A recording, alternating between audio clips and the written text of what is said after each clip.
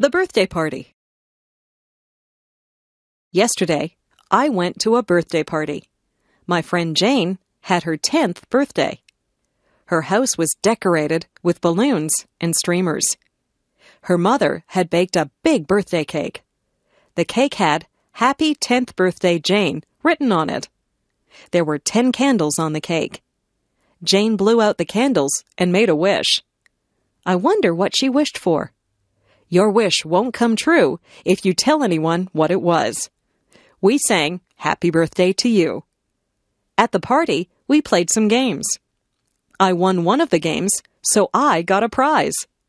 We also swam in Jane's swimming pool. Jane opened her gifts. Her gifts were wrapped in bright paper and bows. She got lots of nice gifts. She got some compact discs, some clothes, and some computer games. Jane thanked everyone. We ate a lot of food at Jane's party. We had hot dogs.